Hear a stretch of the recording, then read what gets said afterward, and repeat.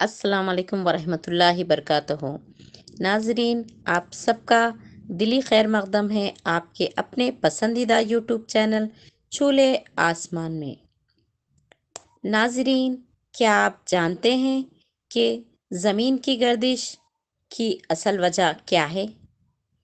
जी हाँ तवाफ़ और नमाज़ की अदायगी की वजह से ही ज़मीन की गर्दिश है, वरना दुनिया रुक जाएगी।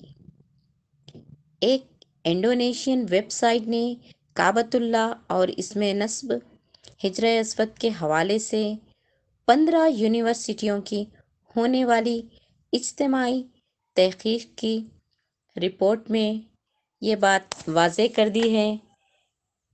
अमरीकी प्रोफेसर लॉन्स यूज़फ़ के रिपोर्ट शाया की है, जिसमें बताया गया है कि काबे के बग़ैर दुनिया रुक सकती है।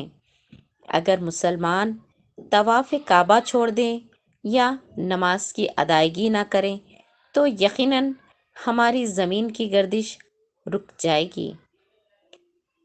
नाजरीन, क्योंकि हिजर असफत पर मरकूज सुपर मौसल की गर्दिश बरक़ी मखनातीसी लहरें नहीं बिखेरेगी।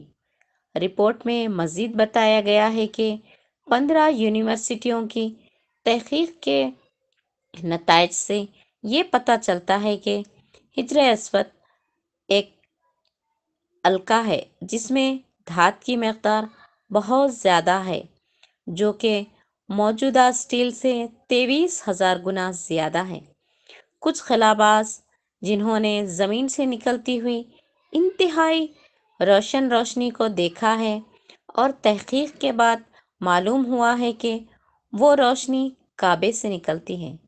तहकीक में ये भी बताया गया है कि हिजरा असवद पर कंडक्टर है जो एक माइक्रोफोन की तरह काम करता है, जो इन लहरों को हज़ारों मील तक पहुंचाता है।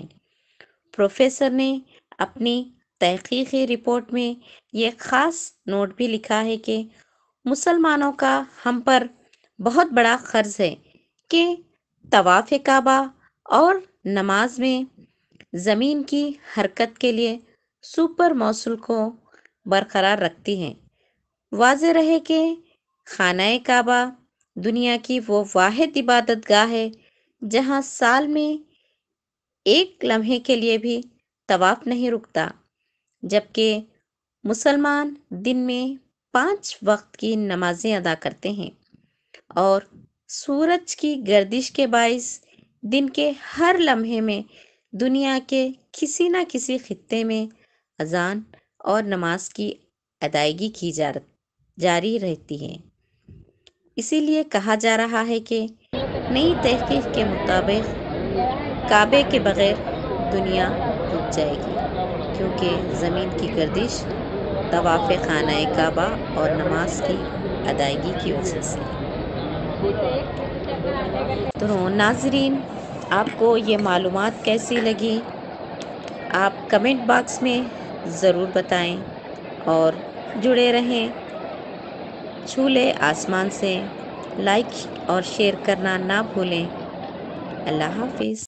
Create a video of your talents and share it via WhatsApp on 9700491819.